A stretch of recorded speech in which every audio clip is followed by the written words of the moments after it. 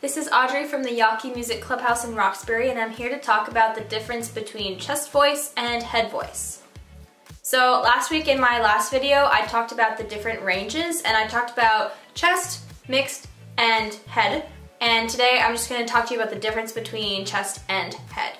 So chest is lower, it's in our lower range, um, it's thicker, it's louder, it's more belty, and it's in a lot of musical theater.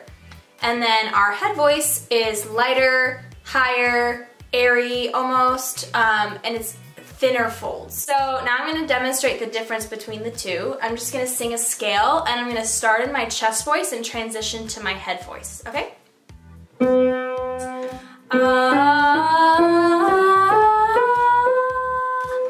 I don't know if you could hear where the break was, but I'll sort of demonstrate slower and then I'll tell you where my break is and I want to see if you can tell the difference. That's my break.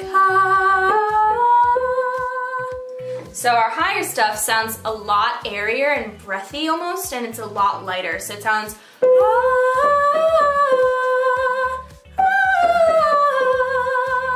it's very light um, and it's got a lot of vibrato in it. And then our lower voice.